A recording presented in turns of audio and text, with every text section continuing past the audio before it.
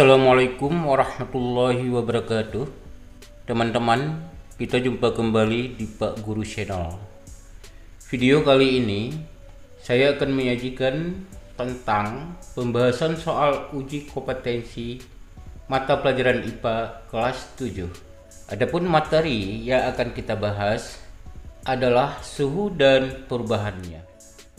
Baiklah, kita lihat soal nomor yang pertama Jelaskan pengertian suhu. Nah, sekarang kita coba lihat pembahasannya. Suhu adalah ukuran panas adapun dinginnya suatu benda. Adapun derajat panas suatu benda. Benda panas ini berarti suhunya tinggi dan sebaliknya benda yang dingin berarti suhunya rendah. Sekarang kita coba lihat soal nomor 2. Bagaimanakah prinsip kerja termometer zat cair, termometer bimetal, dan termometer kristal cair? Mari kita lihat pembahasannya. Jadi, termometer ini memanfaatkan adanya perubahan fisika pada benda. Jika Suhu benda ini dinaikkan, adapun terjadi kenaikan suhu pada benda, maka benda tersebut akan memuai.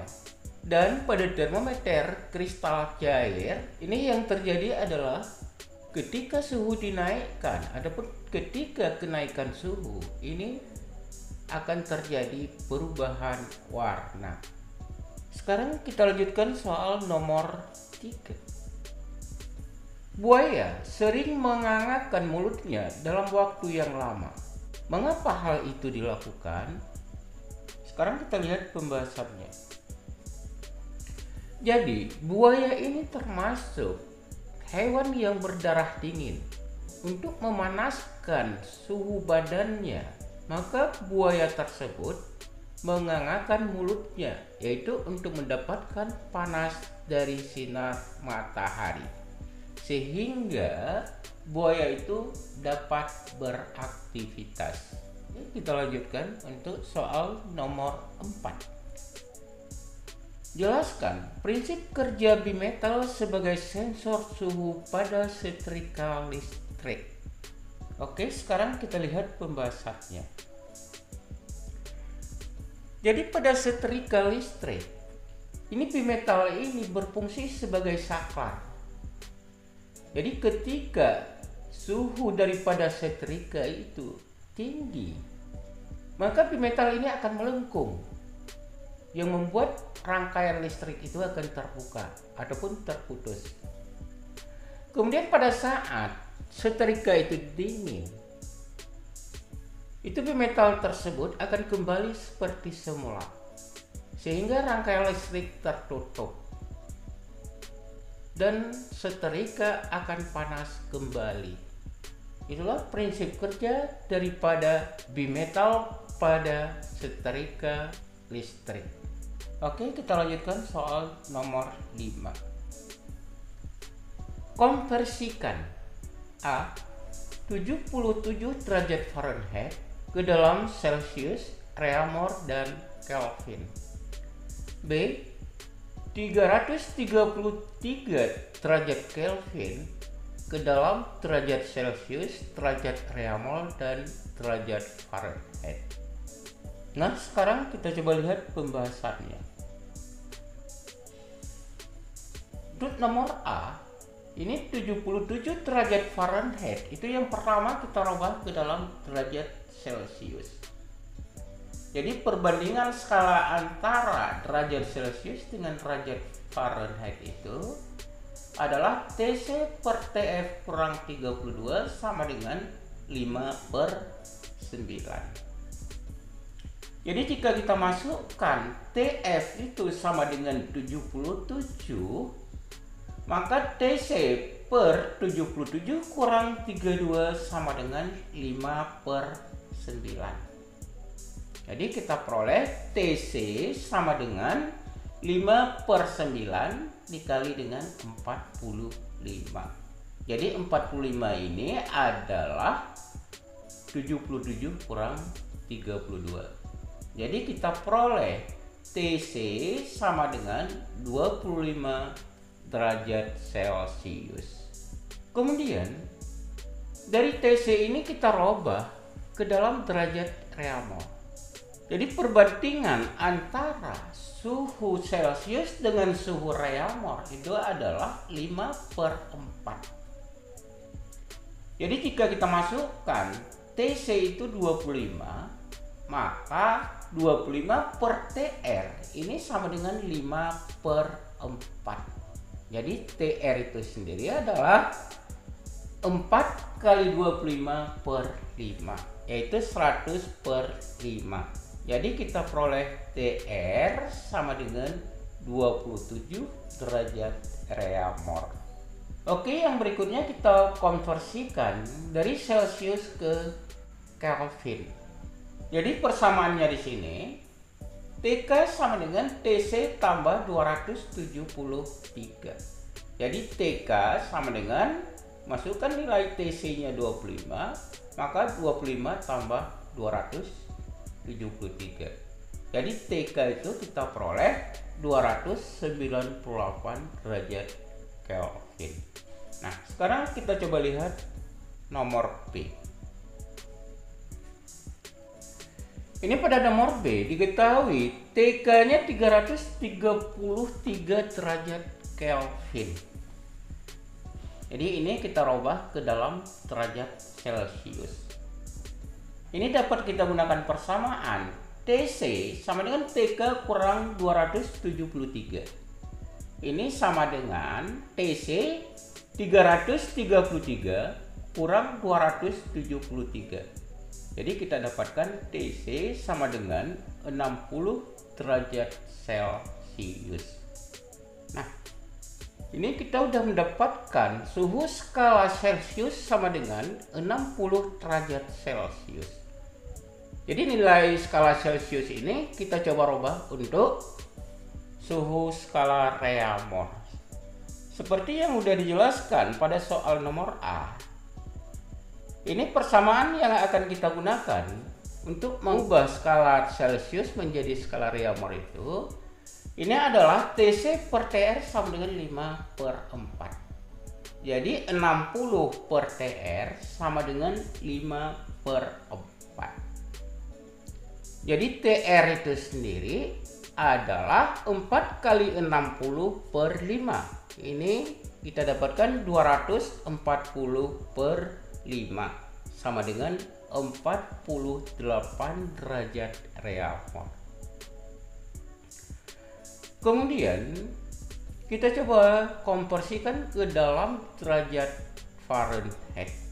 Ini seperti pada soal nomor A tadi. Ini dapat kita gunakan persamaan TC per TF kurang 32 sama dengan 5 per 9. Nah, jika kita masukkan TC itu adalah 60 derajat, maka 60 per TF kurang 32 sama dengan 5 per 9. Ini kita dapatkan TF sama dengan 540 per 5 ditambah 32. Jadi TF itu sendiri kita peroleh sama dengan 140 derajat Fahrenheit. Oke, kita lanjutkan soal nomor 6. Sebatang tembaga yang memiliki koefisien muai panjangnya 0,00017 per derajat Celcius pada suhu 28 derajat Celcius panjangnya 80 meter Berapakah pertambahan panjangnya jika tembaga dipanaskan sampai suhu 78 derajat Celcius? Ini diketahui panjang mula-mula daripada tembaga ini adalah 80 meter. Dan suhu mula-mula adalah 28 derajat Celcius. Dengan koefisien muainya 0,0 0003 17 per derajat Celcius. Sedangkan suhu akhir adalah 78 derajat Celcius. Jadi yang ditanyakan di sini adalah pertambahan panjang tembaga setelah dipanaskan. Oke, kita coba lihat pembahasannya. Jadi untuk menghitung pertambahan panjang di sini dapat kita gunakan rumus delta L ini sama dengan L0 kali alfa kali delta T. L0 itu adalah panjang mula-mula, alfa itu adalah koefisien muai daripada tembaga, dan delta T ini adalah perubahan suhu, yaitu T2 kurang T1. Jadi kita masukkan nilai L0 itu 80 dikali dengan 0,00017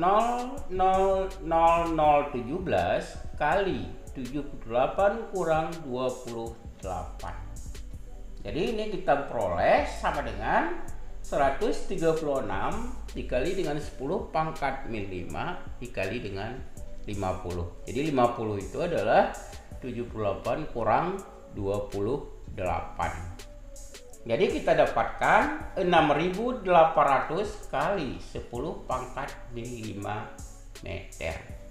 Ataupun 68 kali 10 pangkat min 3 meter. Ya, ini kita coret dua, jadi pangkatnya tinggal menjadi 10 pangkat min 3. Jadi jika kita konversikan ke dalam sentimeter, ini kita peroleh 6,8 cm. Jadi pertambahan panjang tembaga setelah dipanaskan mencapai suhu 78 derajat Celcius ini sama dengan 6,8 cm. Oke, kita lanjutkan dengan soal yang berikutnya. Perhatikan gambar berikut. Ini adalah grafik hubungan antara kenaikan panjang suatu benda terhadap kenaikan suhu benda tersebut. Ini pada suhu 0 derajat. Itu panjang mula-mula sebuah benda ini adalah 100 cm. Kemudian pada suhu 30 derajat Celcius ini panjangnya sekarang bertambah menjadi 100,06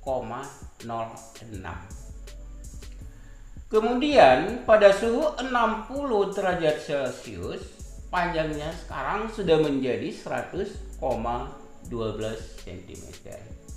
Dan yang terakhir pada suhu 90 derajat Celcius itu panjangnya sekarang menjadi 100,18. Jadi berdasarkan data pada grafik tersebut Tentukan koefisien muai panjang logam. Kemudian yang B-nya berdasarkan hasil perhitunganmu dan pada tabel 41 kemungkinan besar apa jenis logam tersebut. Sekarang kita coba lihat pembahasannya.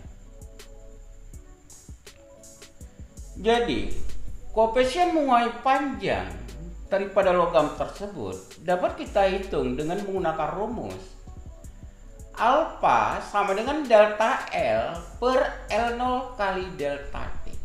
Di mana delta L itu sendiri adalah L dikurang dengan L0 jadi di sini kita ambil sebagai sampel ini pada segitiga merah ini ini sebagai panjang mula-mula dengan suhunya 30 derajat Celcius. Dan yang ini adalah panjang pada suhu 90 derajat Celcius. Itu sebagai rentang ya kan kita ambil. Jadi sehingga 100,18 kurang 100,06 per 100,06 ini L0 dikali dengan jadi perubahan suhunya di sini yaitu dari 30 ke 90 derajat Celcius. Jadi dikali dengan 90 kurang Jadi kita dapatkan ini sama dengan 0,12 per 6003,6 dan hasilnya adalah 0,000199 per derajat Celcius. Itu kita dapatkan koefisien muai daripada logam tersebut jika kita cocokkan dengan tabel 4.1 pada buku paket ini kemungkinan besar logam tersebut adalah logam kuningan. Oke, kita lanjutkan soal yang berikutnya. Perhatikan tabel hasil percobaan tentang pemuaian zat cair berikut ini. Jadi pada tabel di sini ada tiga macam zat cair, yaitu air, minyak goreng, dan alkohol. Jadi volume mula-mula ketiga zat cair itu pada suhu 30 derajat Celcius itu adalah 400 ml. Kemudian setelah suhunya dinaikkan menjadi 80 derajat Celcius, itu volume air menjadi 404,2 ml. Volume minyak goreng 414,5 ml dan volume alkohol adalah 422,0 ml. Berdasarkan tabel tersebut, yang menjadi pertanyaannya adalah yang pertama, rumuskan masalah yang sesuai dengan tabel di atas. Adapun buatlah rumusan masalah yang sesuai dengan tabel tersebut. Kemudian nomor B-nya berdasarkan masalah dan data tabel tersebut. Apa kesimpulannya? Nah, sekarang kita coba lihat pembahasannya. Jadi pada tabel tadi itu memperlihatkan bahwa ketika suhu zat cair itu kita naikkan, maka volumenya akan bertambah. Jadi karena pertambahan volume ketiga zat cair ini berbeda-beda, maka rumusan masalah ataupun alternatif rumusan masalah yang dapat kita rumuskan di sini adalah apakah jenis zat cair berpengaruh terhadap perubahan volumenya ketika dipanaskan ataupun dapat juga kita rumuskan bagaimanakah pengaruh kenaikan suhu terhadap pertambahan volume zat cair. Kemudian berdasarkan data pada tabel ini dapat kita simpulkan perubahan volume ketika suhu zat cair dinaikkan itu berbeda-beda. Jadi dalam hal ini kesimpulannya adalah jenis zat itu sangat berpengaruh terhadap perubahan volume ketika zat tersebut dipanaskan. Nah, untuk video kali ini cukup sampai di sini. Dan saya harapkan kepada teman-teman untuk dapat menonton video-video yang berikutnya. Jika materi yang disajikan ini terasa bermanfaat, mohon like, share, komen, dan subscribe. Saya akhiri Assalamualaikum warahmatullahi wabarakatuh.